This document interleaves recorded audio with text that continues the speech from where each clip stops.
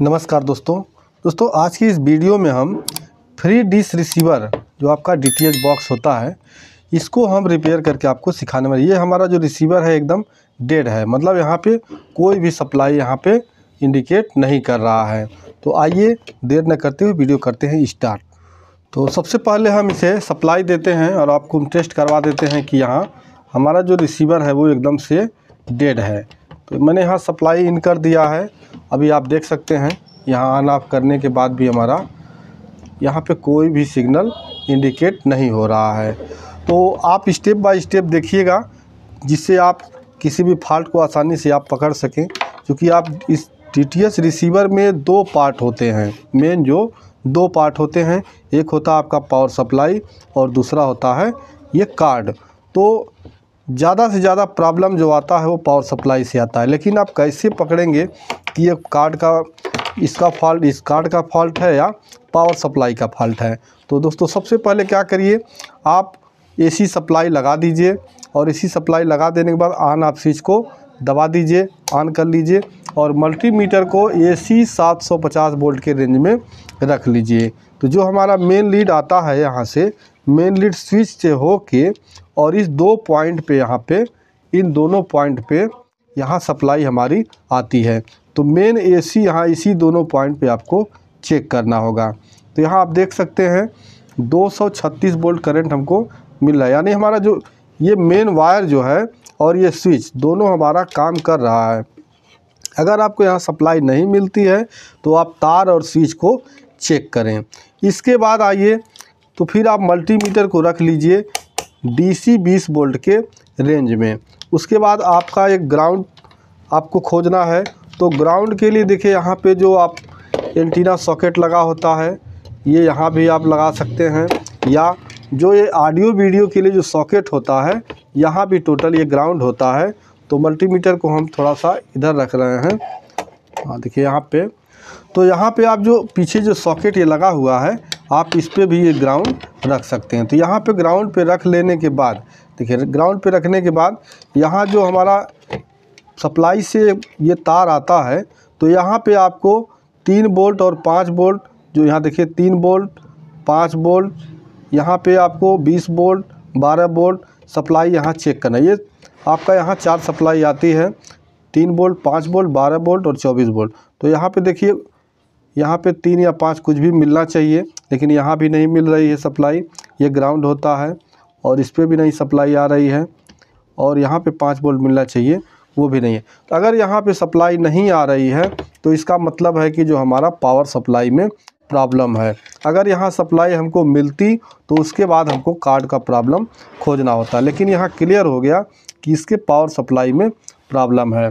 तो क्या करेंगे, हम प्लग को निकाल लेते हैं और सप्लाई को यहाँ से पहले हम खोल के बाहर कर लेते हैं। तो इसके पेज को हमने खोल दिया और यहाँ से इस सॉकेट को भी यहाँ से निकाल लेते हैं। अब निकाल लेने के बाद देखिए यहाँ पे अभी जो हमारा यहाँ एसी आता है इस पॉइंट पे, इस सॉकेट के द्वारा यहाँ पे एसी आता है। तो यहाँ से एक वायर जो हमारा एक प्रिंट एक सप्लाई है, इस फ्यूज के थ्रू होते हुए यहाँ आती है और दूसरा वाला जो है यहाँ इस पॉइंट से होते हुए, आप देखिए यहाँ से होते हुए, यहाँ पे आता ये फ्यूज से होते हुए इस पीछे जो एक ड्राइवर लगा हुआ है कॉयल है इसको कॉयल बोलते हैं। ये कॉयल पे आता है और इस कॉयल के थ्रू यहाँ पे फिर आगे सप्लाई जाती है। सबसे पहले क्या करना है, यहाँ पे हमें, चूँकि हमको ए सी यहाँ मिल रहा था तो पहले फ्यूज को चेक करेंगे कि हमारा फ्यूज सही है या नहीं। तो फ्यूज को चेक करने के लिए मल्टीमीटर को आप बजर के रेंज में रख लेंगे और यहाँ पे इस तरह से देखिए यहाँ। बीप की आवाज़ आता है तो इसका मतलब हमारा फ्यूज सही है। अब आगे आइए। यहाँ पे इस कॉयल को भी आपको चेक करना होगा। यहाँ का जो कॉयल है, ये कॉयल आपका एक साइड का, ये दोनों ये अपने में बीप देगा और ये दोनों अपने में बीप देगा। यानी दोनों आपस में कंटिन्यूटी देगा और ये दोनों आपस में कंटिन्यूटी देगा। तो यहाँ पे हम इसको चेक कर लेते हैं। अभी देखिए, यहाँ हमको कंटिन्यूटी मिल रहा है। और ये दूसरे वाले पिन पे यहाँ पे हमको कंटिन्यूटी नहीं मिले। तो हमारा यहाँ एक साइड का एक बीप नहीं दे रहा है, यानी कंटिन्यूटी नहीं दे रहा है। इसका मतलब इसका एक जो चक्कर, ये एक लेग है इसका, एक साइड का ये कोयल का, ये ओपन है। तो ओपन शॉर्ट सर्किट के कारण भी हो जाता है, या चलते चलते उसमें कार्बन आने के कारण भी हो जाता है। तो सबसे पहले आप क्या करेंगे, यहाँ जो कैपेसिटर लगा हुआ है मेन कैपेसिटर इस पर शॉर्टिंग चेक कर लेंगे। तो शॉर्टिंग चेक करने देखिए, इस तरह से आप लगाएँगे। अगर यहाँ बीप की आवाज़ आती है तो इसका मतलब है यहाँ कोई न कोई डायोड या कुछ भी पार्ट यहाँ, या आईसी भी शॉर्ट हो सकता है। लेकिन आप देख सकते हैं यहाँ पे कोई भी बीप की आवाज़ नहीं आ रही है। अगर यहाँ बीप की आवाज़ आती तो डायोड कैपेसिटर या आईसी में से कोई भी एक प्रॉब्लम हो सकता है। लेकिन यहाँ बीप की आवाज़ नहीं, इसका मतलब इधर क्लियर है। तो सबसे पहले हम इस ड्राइवर को ओपन करते हैं, यानी उसको बाहर हम निकाल लेते हैं।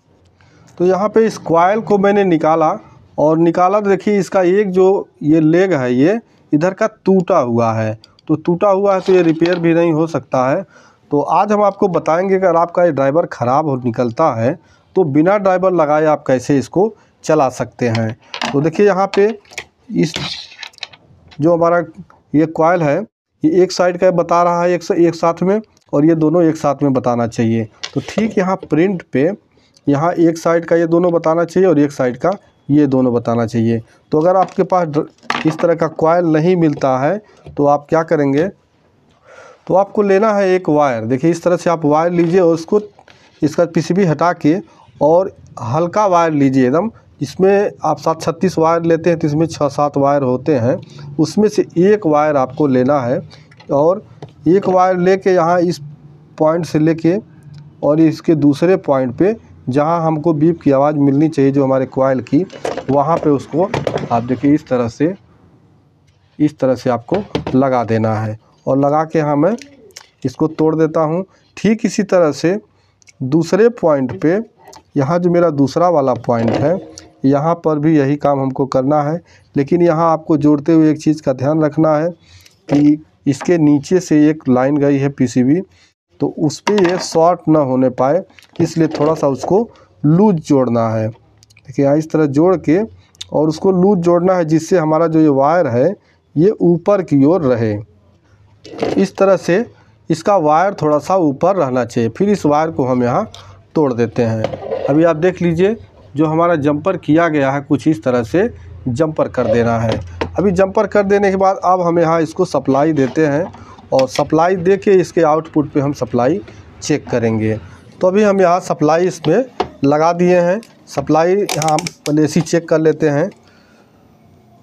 देखिए, हमको ए सी यहाँ मिल रहा है और इसके बाद हम सीधे आउटपुट पे चल चलते हैं। अगर उसी का केवल फॉल्ट रहा होगा तो हमारा ये सप्लाई ऑन हो गया। तो यहाँ दो नंबर जो होता है, ये ग्राउंड होता है तो यहाँ ग्राउंड को हम इस तरह से पकड़ लेंगे और इसके एक पॉइंट पे यहाँ देखिए यहाँ चार दशमलव पाँच एक हमको मिल रहा है, ये ग्राउंड है और इस पर हमको चौदह बोल्ट मिल रहा है और यहाँ चूँकि ये बीस बोल्ट से ऊपर सप्लाई होती इसलिए कट जा रही है।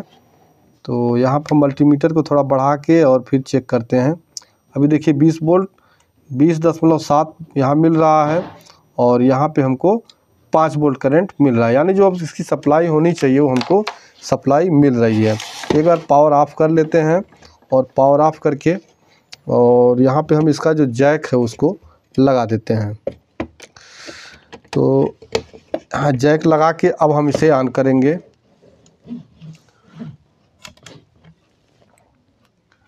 तो अभी आप देख सकते हैं, ये रिसीवर ऑन हो चुका है। अभी आएगा।